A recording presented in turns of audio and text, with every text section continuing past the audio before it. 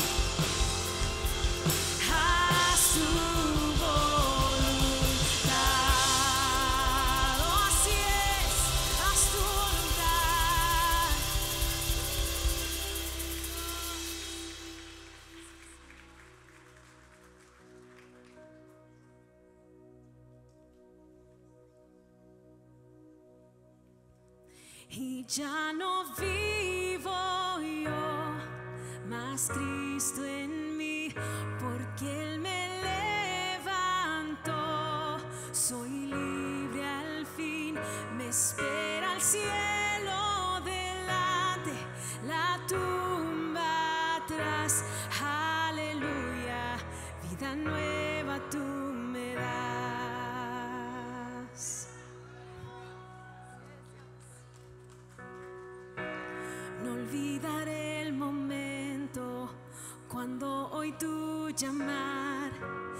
Llegaste a mi abismo, tu gracia alumbró la oscuridad y como Lázaro me volví a levantar. Amén. Donde no había esperanza, ahora encuentro fe, todo lo que buscaba.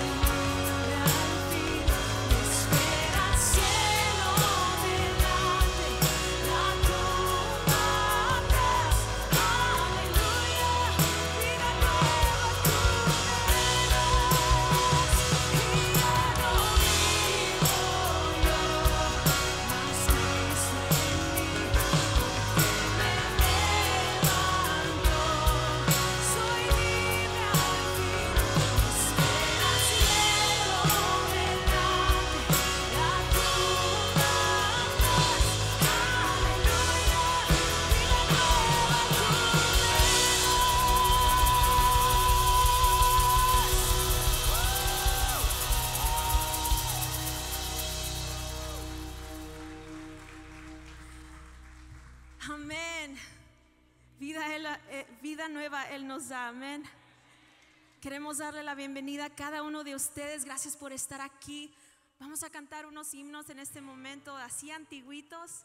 Si tú te sabes eh, los himnos que vamos a cantar, por favor, cántenla con nosotros. Amén.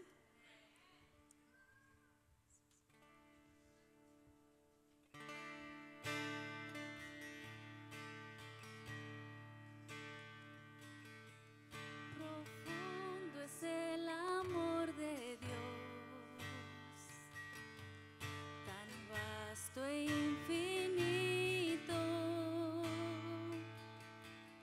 que Dios su Hijo amado por amor a los pecados.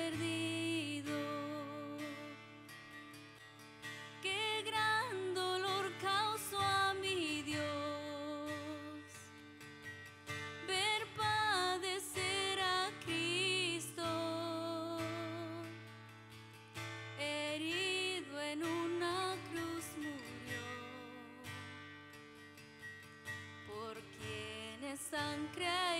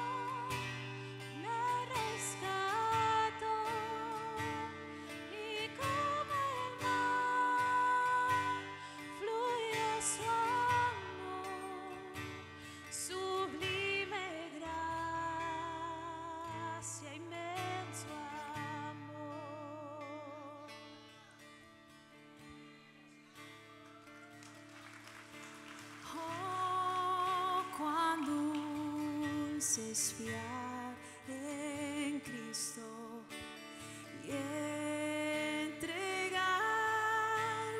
todo a Él. Espera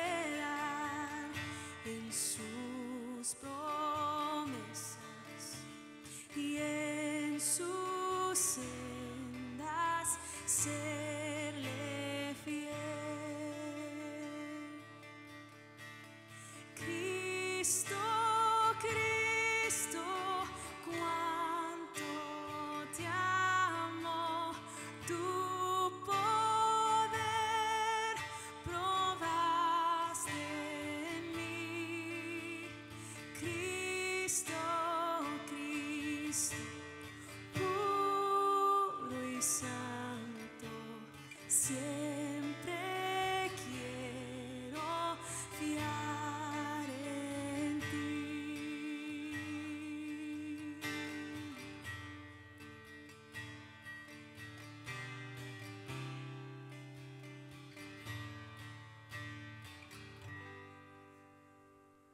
Cuando el Señor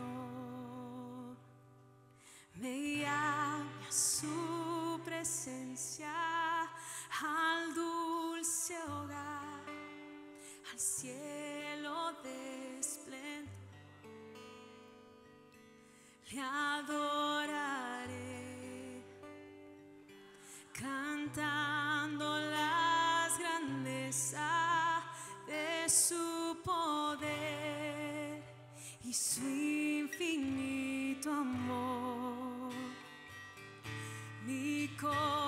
soul.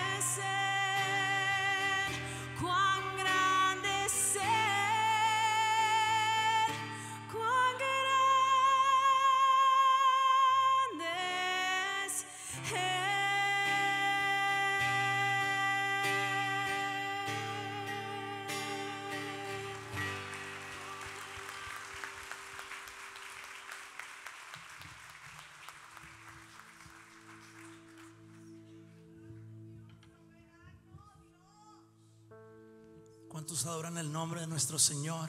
¿Cuántos celebran que Cristo resucitó? Y hoy podemos tener vida y libertad para adorarle. Vamos a declararlo. Vamos a reconocerlo.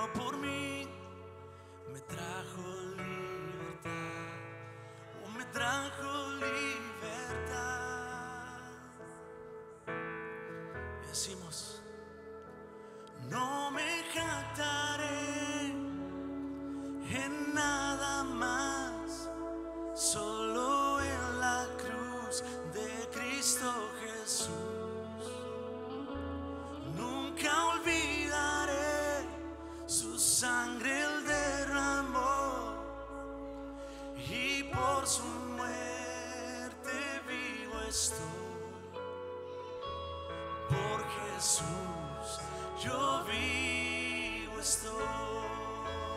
¿Cuántos lo reconocen?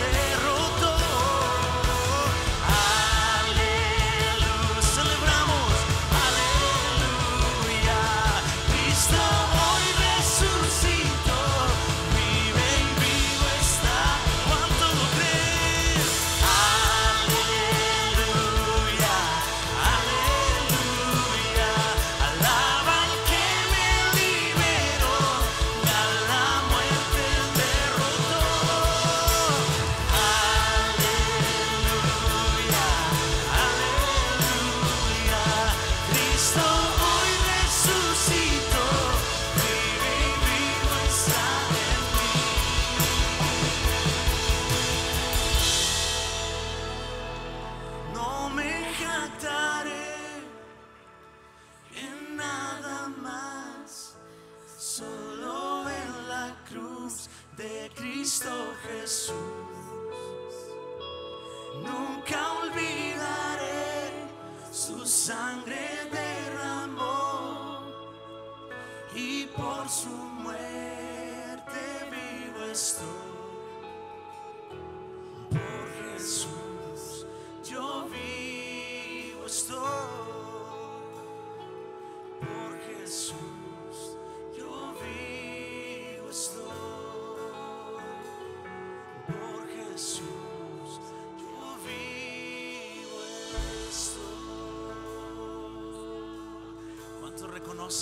por su sacrificio, es por su gracia?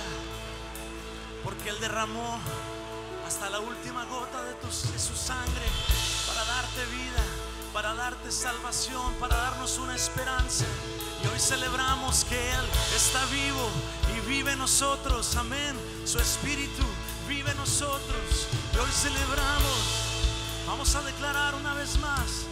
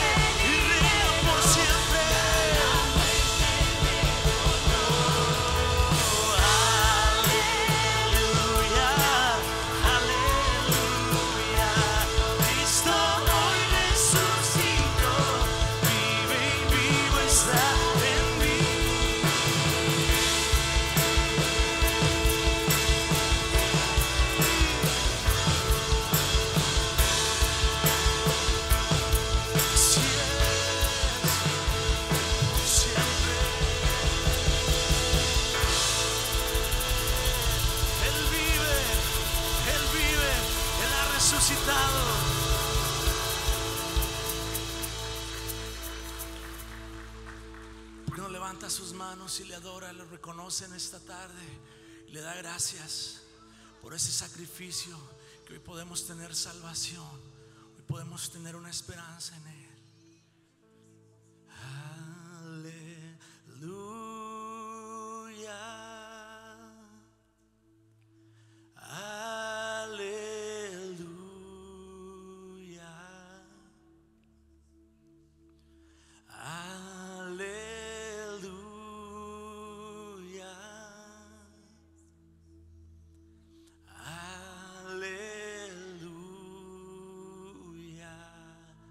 Todas las voces, podemos declarar.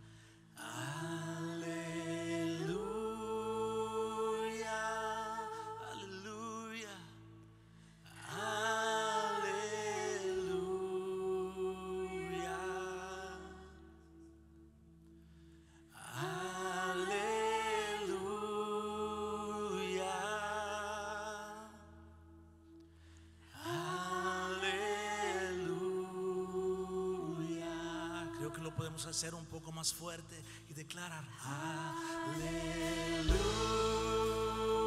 Al que vive y reina por siempre.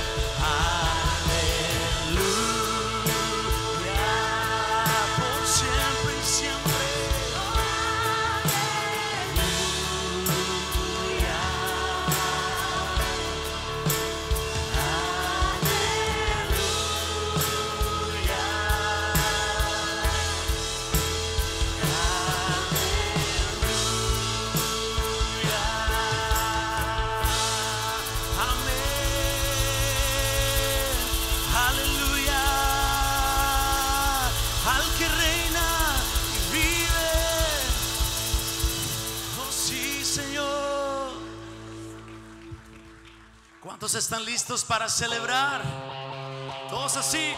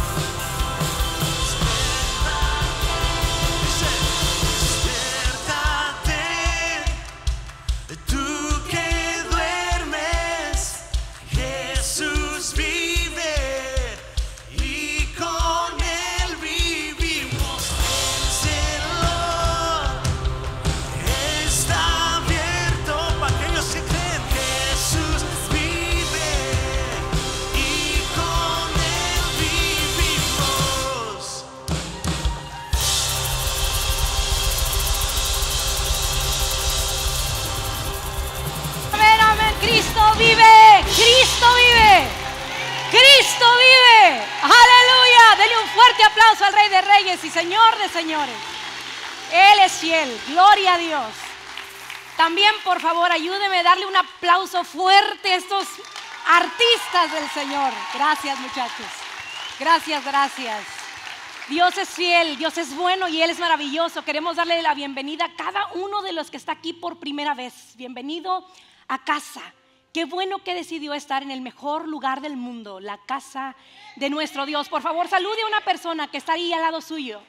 Salude, diga bienvenido o mucho gusto y puede ocupar su lugar. Gracias Dios. ¿Cuántos disfrutaron este concierto? Muchas gracias, Ricky. Gloria a Dios por su amor y su fidelidad. Estos muchachos estuvieron preparándose desde hace más de dos semanas. Y lo que hoy expusieron, créanme que es fruto de la pasión y la entrega con la que están sirviendo a nuestro Dios y damos gloria a Dios por eso. El día de hoy es para mí especial una vez más por cuarto año consecutivo predicar en Día de Resurrección.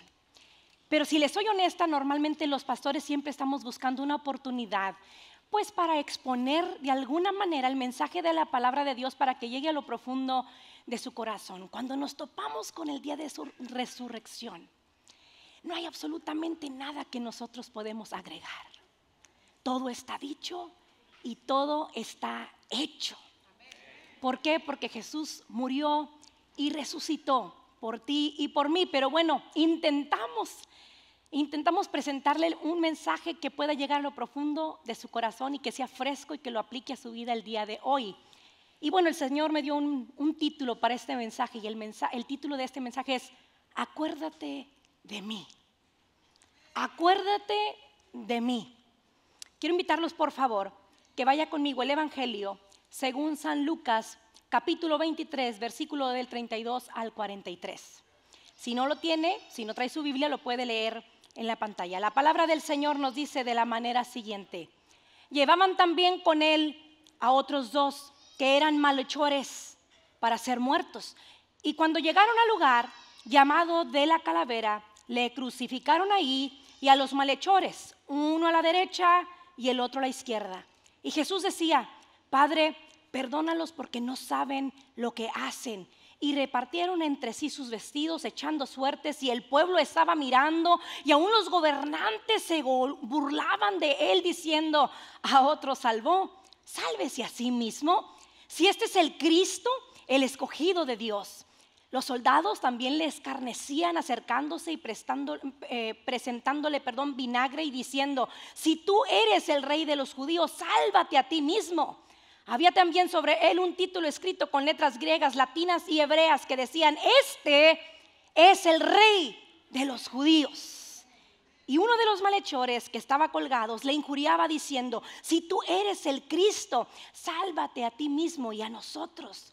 Respondiendo el otro, le reprendió diciendo, ¿ni aún temes tú a Dios estando en la misma condenación? Nosotros a la verdad justamente padecemos porque porque recibimos lo que, lo que merecieron nuestros hechos, mas este ningún mal hizo. Y dijo a Jesús, acuérdate de mí cuando vengas en tu reino. Entonces Jesús le dijo, de cierto te digo, diga conmigo, que hoy, hoy, hoy estarás conmigo en el paraíso. Oremos. Gracias Dios por tu palabra, que es bendita y que es santa que sigue vigente, sigue persuadiendo, sigue quebrando, Señor, los corazones que se han endurecido. Gracias por este momento. Permite que a tu pueblo, Señor, les llegue el mensaje poderoso de tu palabra y que sean libres de pecado, porque eso fue lo que tú originaste en la cruz al morir por ellos. Una liberación, Señor. Fuera esclavitud, fuera condenación. Somos libres en ti. Te adoramos y te bendecimos y te damos honra y gloria por los siglos de los siglos. Amén. Y amén. Sin temor a equivocarme, más de, más de 10 personas de las que estamos aquí el día de hoy en algún dado momento de nuestra vida hemos sido traicionados. ¿No es cierto? No, me levante la mano, ¿verdad? Nomás que les- ahí piense, ¿verdad? Hemos sido traicionados en algún dado momento de nuestra vida. Hemos sentido ese sentimiento de dolor que profundiza y se hace grande con el tiempo y nos hace hacernos tantas preguntas, preguntas sin respuesta.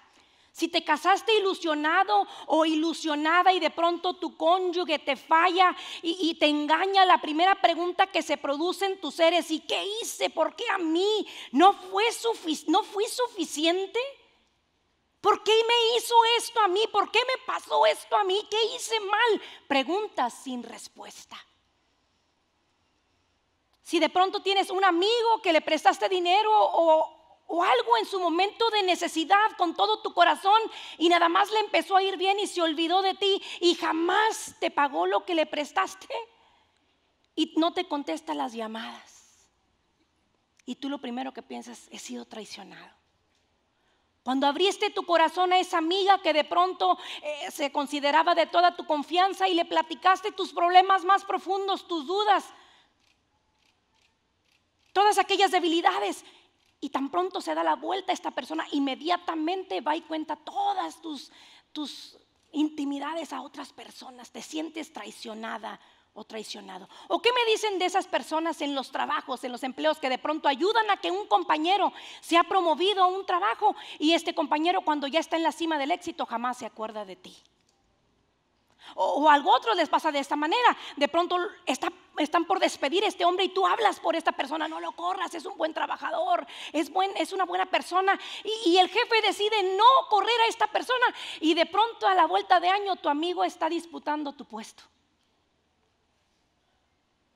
Duele, la traición duele. Y produce preguntas que muy probablemente jamás encontrarás respuesta. Y ninguno de nosotros estamos exentos de que esto suceda. Pero mi pregunta sería, la reacción que se produce cuando somos traicionados es, bendícelos y prospéralos, Señor. Dales para su casa el mejor novio, la mejor novia. Dales el mejor carro, Señor. Dales un empleo fructífero, Señor. Un negocio, ¿verdad que no? No, esa no es la oración de nosotros. Normalmente cuando somos traicionados, lo que se produce en nuestro corazón es una raíz de amargura. Y lo primero que decimos es, ah, pero jamás me la vuelven a hacer. Jamás es más, no voy a volver a confiar en nadie. Van a conocerme quién soy yo. ¿No es cierto? Ah, puros santos. Todos son bien santos aquí. Ay, Señor. ¿Sí? No, yo no, pastor, yo vengo a TFC. ¿Y luego? ¿Sí? Se produce una raíz de amargura profunda en tu corazón que te hace sentir los sentimientos más bajos. Hay otros más drásticos que dicen, ah, no, el que me la hace. ¿Cómo? Mire, ya saben que si responden luego, ah, ya saben, ah, no cayeron. El que me la hace, me la paga. Y, y yo estoy casi segura que aquí tenemos personas que están en ese lapso de tiempo, en esa estación de su vida en donde retiraron su confianza. Mi esposo decía algo hace unos días, decía, mira, yo tengo un banco de confianza. Tú ahorras a esa confianza, depositas o retiras de esa confianza. De la misma manera que tú y yo hemos sido trai- traicionados en algún dado momento de nuestra vida terrenal, natural, Jesús también fue traicionado. Pero hay una vasta diferencia entre Jesús y nosotros y te voy a explicar por qué. Jesús después de hacer esa entrada, triunfal de la que prediqué el domingo pasado, ese domingo de ramos, básicamente inicia esa tan famosa y mencionada en infinidad de himnos, Vía Dolorosa. ¿Han escuchado ese canto? La Vía Dolorosa. ¿Sí? Empieza esa vía dolorosa, su entrada a la última semana de vida de Cristo en esta tierra. Ya los principales y escribas estaban buscando ya cómo matarle. Y aunque en ese momento Jesús estaba rodeado de sus amigos, de sus compañeros, de algunos seguidores, de algunos admiradores e inclusive de algunos hipócritas que querían traicionarle, nada de esto hacía que el corazón de Dios de Jesús se moviera en arrepentimiento por cumplir la misión que el Padre le había enviado a hacer. Él estaba decidido a morir, ir a la cruz y morir por tus pecados y los míos. Porque alguien decía por ahí que no fue la cruz ni los clavos lo que sostuvieron a Jesús pendiendo de esa cruz, fue el amor que sentía por ti y por mí. Ese amor inigualable, ese amor incomparable, ese amor inmesurable del unigénito Hijo de Dios para con su creación. Tuvo misericordia hasta el último momento de su vida en esta tierra. El Evangelio de Juan nos dice en el capítulo 10, versículo 18, nadie me quita la vida, nadie me la está quitando, sino que yo la entrego porque así lo quiero. Tengo poder para entregar mi vida y tengo poder para volverla a recibir, pues esto es lo que mi Padre me ha ordenado hacer. Vemos cómo Jesús, aunque la encomienda, la misión era difícil, estaba dispuesto hasta llegar a las últimas consecuencias. Ese es el reino de los cielos al cual Jesús predicaba y mencionaba tantísimas veces. En el mismo Evangelio de Juan capítulo 15, versículo 13, la escritura nos dice, nadie tiene mayor amor que este, que uno ponga su vida por sus amigos. Ese es el Evangelio, ese es el reino que Jesús predicaba. Tienes que amar a tu prójimo como a ti mismo. Jesús, Jesús conocía el corazón de cada una de las personas que estaban alrededor de él, mis hermanos. Y no había pasado mucho tiempo cuando ya uno de sus discípulos amados le iba a negar. Y tampoco había pasado mucho tiempo, iba a pasar mucho tiempo cuando él ya tenía que presentarse ante algunos tribunales a declarar, por ejemplo, al de Anás, al de Caifás, el Cenedrín, el Pilato y al Herodes. Él sabía bien lo que seguía. Él seguía la historia, sabía la historia y el final de la historia. Él sabía que todos esos interrogatorios estaban cuidadosamente controlados con el fin de acabar con su vida. Y nada, absolutamente nada, le tomó por sorpresa. Jesús fue ese cordero santo, el sacrificio más sincero y puro que pagó completamente el precio de nuestros pecados. Sus transgresores, dice la palabra, preguntaban cuando estaba al pie de la cruz, y si eres el Hijo de Dios, ¿por qué no te salvas? ¿Por qué no nos salvas y te salvas a ti mismo, mis hermanos? Porque Él era precisamente nuestro Salvador, el que pagaría el precio por nuestros pecados. Jesús fue maltratado, fue humillado, despreciado, violentado, como nos dice Isaías capítulo 43, versículo 7. Todos nosotros nos descarriamos como ovejas, cada uno se apartó por su camino, mas Jehová cargó en él el pecado de todos nosotros angustiado, él y afligido, no abrió su boca, como cordero fue llevado al matadero y como oveja delante de sus trasquiladores, enmudeció y no abrió su boca. Eh, Jesús no era un avenger que quería mostrar su poder a una sociedad corrompida, perdida.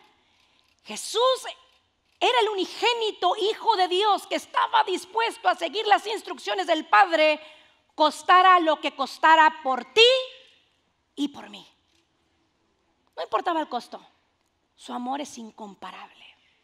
Ahí estaba el Hijo de Dios enfrentando el peso del pecado de la humanidad, injuriado, encarnecido y aún en sus últimos momentos, dice la Escritura, Colosenses capítulo 2 versículo del 14 al 15, Él anuló el acta de los decretos que había contra nosotros, que nos era contraria y la quitó de en medio clavándola en la cruz. Y despojó a los principados y a las autoridades, se les exhibió públicamente, triunfando sobre ellos en esa cruz. Jesús nos entregó la victoria sobre el pecado, mis hermanos, sobre, toda falta. Eso era lo que Él estaba predicando, el amor que era, estaba dispuesto a entregar el todo. Y pudiéramos decir, por el nada, porque no valíamos nada antes de que Él muriera por nosotros. Jesús no murió en la cruz para condenarte, Jesús murió en la cruz para salvarte. Jesús no es religión, Jesús es relación. Otra vez, Jesús no es religión, Jesús es relación. Una relación íntima con Él. Vemos cómo esa relación que se produce entre Jesús y estos ladrones produce un fruto, pudiéramos decir, uno bueno y uno no tan bueno. Dice la escritura que aunque estaba Jesús en esa cruz, básicamente está en medio Jesús de la credulidad y de la incredulidad. Todavía en sus últimos momentos de vida Jesús se encuentra entre un crédulo y un incrédulo. La verdad, la salvación y el pecado y la maldad. Dice la escritura que uno de los ladrones le dice, pues si tú eres el Hijo de Dios, sálvate y sálvanos a nosotros. Mire, fue por la providencia de Dios que Jesús fue crucificado entre dos ladrones. Porque esto les dio a ambos, escuche bien, igual acceso al Salvador. Los dos tenían oportunidad de reconocerle y ser salvos, pero solo uno estuvo dispuesto a conocerle como su Señor y Salvador. ¿Y qué se parece eso a la realidad de hoy?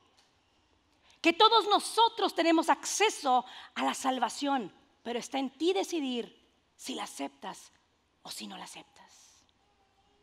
Ambos podían leer el rótulo escrito por Pilato, este es Jesús de Nazaret, rey de los judíos, y ambos pudieron contemplarle mientras amablemente daba su vida por los pecadores de este mundo. Los dos tuvieron las mismas oportunidades. Uno de los ladrones imitó la mofa de los dirigentes religiosos y le pidió a Jesús que lo rescatara de la cruz, pero el otro tuvo ideas diferentes debe haber razonado de la siguiente manera. Si este hombre, escuche bien, es en verdad el Cristo, y si tiene un reino, y si ha de salvar a otros, entonces puede suplir mi mayor necesidad, que es la salvación de mi pecado. No estoy listo para morir. Exigió valor de parte de este ladrón el desafiar la influencia de su amigo y el escarnio de la multitud. Y exigió de él fe para confiar en un rey que moría que estaba derrotado. Cuando se consideraba que todo estaba perdido, la fe de este ladrón parece ser impresionante. Acuérdate de mí. Acuérdate de mí. El hombre fue salvo, mis hermanos, por pura gracia. Por pura gracia, fue dádiva de Dios. Eso lo dice Efesios capítulo 2, versículo 8, 9, puede leerlo ahí. No la merecía ni podía ganársela. Su salvación fue personal y segura y garantizada por la palabra del mismo Jesucristo. El hombre esperaba alguna ayuda en el futuro, pero Jesús le dio el perdón ese mismo día. Y él murió y fue con Jesús al paraíso. De esa misma manera, tú y yo tenemos hoy la oportunidad de reconocerle a Él como nuestro Señor y como nuestro Salvador. Efesios capítulo 2, versículo del 4 al 7 nos dice, pero Dios es muy compasivo y su amor por nosotros es inmenso. Por eso, aunque estábamos muertos por culpa de nuestros pecados, Él nos dio, nos dio vida al resucitar a Cristo. Nos hemos salvado gracias al amor de Dios. Dios al resucitar a Jesucristo nos resucitó y nos dio un lugar en el cielo junto a Él hizo esto, escuche bien, para mostrar en el futuro la bondad y el gran amor con la que nos amó por medio de Jesucristo. Yo no sé qué tan pecador tú eres o creas que seas. Algunos pudieran pensar es una persona sin remedio y nada más vienes a la iglesia en Easter o en día de resurrección para que Diosito no te vaya a castigar. ¿Sí? Y apúrese porque ya va a seguir el menudo y tengo hambre. ¿Sí? Apúrese, no se tarde o me salgo. Jesús fue traicionado como hemos sido traicionados tú y yo alguna vez en nuestra vida. Y el sentimiento que se produce en Jesús no es de odio, ni de desprecio, ni de falta de confianza. No sé si usted pueda sentir aquí la magnitud del amor de Cristo cuando todavía estando siendo traicionado, vituperado, en sus últimos momentos de vida, extiende amor y misericordia a un ladrón. no era un papá, una mamá trabajadora que de, repente miente un poquito o le falta fe en ciertas cosas. Era un ladrón. Y aunque la escritura no nos menciona mucho las razones por las que ellos estaban ahí junto con Jesús, o qué trato se les dio antes, al parecer toda la atención estaba recayendo sobre Jesús y ellos únicamente estaban siendo espectadores. Jesús no endureció su corazón. Él abrió su corazón una vez más para mostrarle amor a ese ladrón que le dijo estas palabras sinceras y humildes. Acuérdate de mí. No le dijo, ay, luego te hablo. ¿Cuándo nos vemos para comer una comida? Ay, sí, estaría perfecto. Ay, te aviso. La próxima semana nos vemos. Bueno, si llegas, pues llegas. Y si no llegas al paraíso, pues no llegaste. Jesús le dijo, hoy, hoy estarás conmigo en el paraíso. ¿Sabes que la misma oportunidad que tuvo este ladrón es la misma oportunidad que Jesús te ofrece, a ti el día de hoy? Que tomes una decisión drástica en tu vida y le reconozcas como tu Señor y Salvador y que aprendas a vivir el reino de los cielos, no el de esta tierra que abusa de ti, que constantemente está buscando enriquecerse a costas de, tu paz, de tu felicidad. Jesús quiere que establezca su reino en tu casa, en tu familia, en tu vida, que seas amoroso, misericordioso, perdonador, que extiendas misericordia. Esa es la misma oportunidad que recibió este hombre ladrón, es la misma oportunidad que puedes recibir tú hoy. Yo sé que celebramos el día de resurrección, porque te voy a decir esto, pasado unos cuantos minutos Jesús expira y entrega al Señor, al Padre, su vida. Y dice la escritura que hubo un gran terremoto e inclusive la naturaleza empezó a temblar por la situación que se estaba produciendo en esa cruz. Y la gente empezaba a ver, oh, oh, creo que sí era. Verdaderamente este era el Hijo de Dios. Verdaderamente este hombre era el Mesías. Y empezaron por ahí a sentir el corazón retorcido porque habían sido ellos los verdugos que habían entregado al Hijo de Dios para morir en una cruenta cruz. La pregunta de hoy sería, ¿cuántos de ustedes les gustaría reconocer a Jesucristo como su Señor y su Salvador? ¿Cuántos de ustedes quieren tomar la decisión de este ladrón y decir, acuérdate de mí y recibir la sentencia, hoy, no mañana. Hoy te prometo que vas a estar conmigo en el paraíso, porque la palabra de Dios era sí y amén, se ejecutaba en el momento, no era para mañana ni para la próxima semana. ¿Cuántos hoy quieren recibirle como su Señor y Salvador? Esa misma oportunidad que tuvo ese hombre la tienes tú. Sí era el Hijo de Dios. Muchos se fueron de ahí tristes, cabizbajos, derrotados porque por ignorancia espiritual no le habían conocido. Su ceguera espiritual no les permitía ver la magnitud del poder que había en Jesús. Yo quiero pedirle hoy, por favor, que incline su rostro. Y voy a pedir al grupo de alabanza que pase para cerrar este tiempo. Yo sé que es una predicación corta, como cada año, pero usted sabe la verdad. Usted conoce la historia. Usted ha sido testigo ocular de la misericordia de Dios en su vida para con su familia. Usted ha visto la mano poderosa de Dios proviendo para sus necesidades. Cuando ha estado enfermo ha visto la mano poderosa de Dios como sanador. Cuando se ha sentido solo lo ha visto a Él como protector, como compañero, como consejero. Cuando ha habido dudas, Él disipa toda duda a través de su amor y su misericordia. Él es Jesús. El Jesús que acabamos de adorar y exaltar hace unos segundos atrás. Ese mismo Jesús que le dio oportunidad a un ladrón en la cruz, que no se la puede dar a una persona que tiene problemas con el alcoholismo, que no se la vaya a poder dar a una persona que tiene problemas con la pornografía. Es el mismo Jesús que puede darle salvación a una persona que tiene problemas con adicciones de drogas. Es el mismo Jesús que puede traer libertad a un espíritu que está contricto, no por la presencia de Dios, ni humillado por la presencia de Dios, sino por la depresión y la ansiedad. Lo único que tú tienes que reconocer es que Él es el Hijo de Dios. Y dice la Escritura, y hoy estarás con Jesucristo en el paraíso, porque Él fue a preparar morada para nosotros. Incline su rostro y adoremos a Dios. Incline su rostro y adore a Dios con todo su corazón y agradezca el sacrificio en la cruz.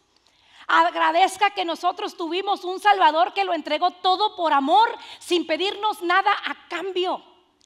Lo único que Él necesita de ti y de mí es tu voluntad, es tu corazón, que tu mente esté constantemente pensando en las, en las inversiones eternas y no en las profanas inversiones de este mundo. Busca al Señor, ahí en tu lugar.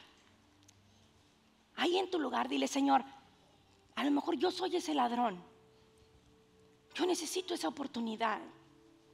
Sabes que yo, Señor, soy como esa gente que se fue cabizbaja y triste porque te hemos crucificado con nuestros hechos, con nuestra falta de fe, con nuestra falta de confianza. ¿Sabes que Señor? Yo soy ese centurión. Yo soy, Señor, el que produce ese dolor en tu corazón por mi lejanía, por mi falta de fe.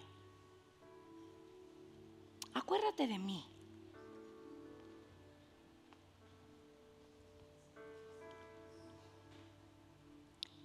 Cuando los soldados hubieron crucificado a Jesús, dice la escritura, tomaron sus vestidos, se hicieron cuatro partes, una para cada soldado.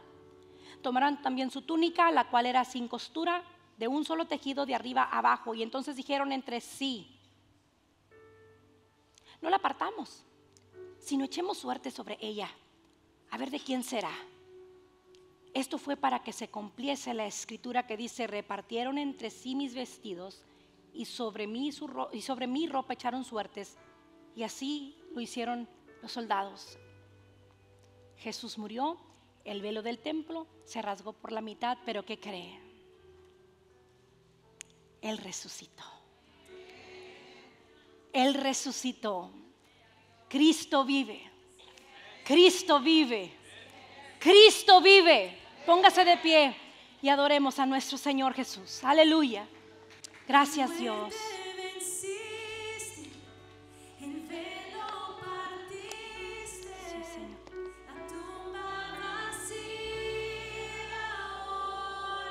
Sí, Señor. Los cielos declaran, tu gloria proclama. Resucitaste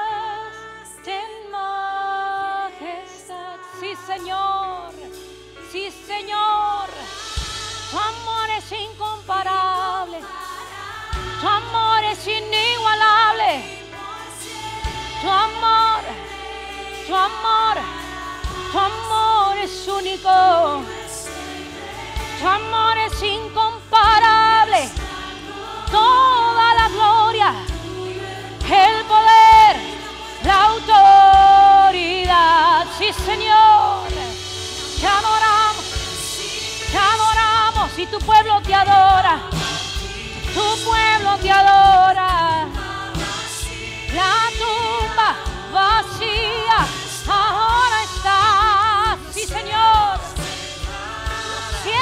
cielos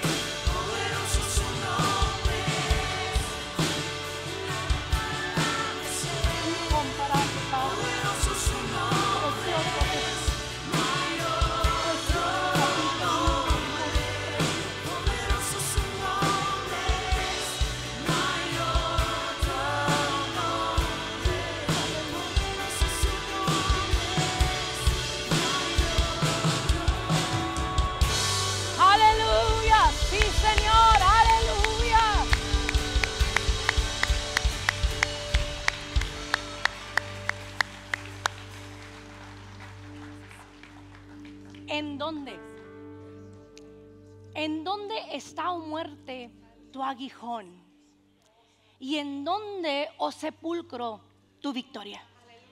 En otras palabras, ¿en dónde está muerte aquello con lo que atormentabas al hombre? Jesús resucitó y venció todo principado y toda potestad y no tiene parte el enemigo ni suerte en nuestra vida. Toda maldición generacional es cortada, quebrada en el nombre de Cristo. Toda enfermedad, toda falta de fe y confianza en el Señor, toda falta de identidad ha sido vencido en el nombre de Cristo Jesús.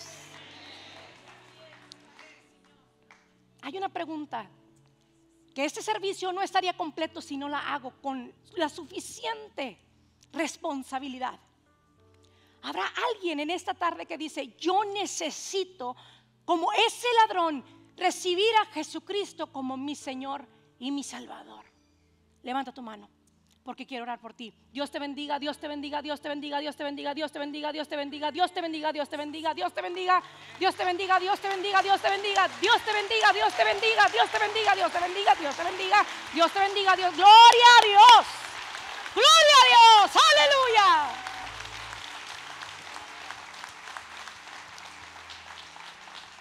Repita esta oración conmigo, Señor Jesús. Como este ladrón yo reconozco que tengo la decisión de dejar ir la oportunidad o de aprovecharla. Pero el día de hoy yo te reconozco como el Mesías prometido, el Dios de mi corazón, el que venció a la muerte con poder.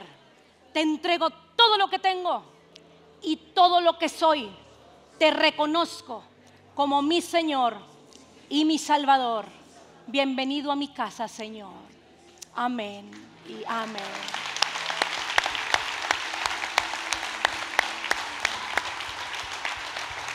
Hay un trabajito hay un trabajito para todos mis líderes. Usted vio una persona que recibió a Cristo, vaya, preséntese, déle la bienvenida y vamos a darle seguimiento a estas almitas nuevas. Y también nuestra, familia de casa, si ve una personita que usted no conoce, no le saque la vuelta, abrácela, salúdela, preséntese y invítela para el próximo domingo. Tenemos servicio. Les amamos que tengan un precioso y maravilloso domingo de resurrección, una tarde hermosa en familia. Que el Señor les bendiga, mis hermanos. Les amamos.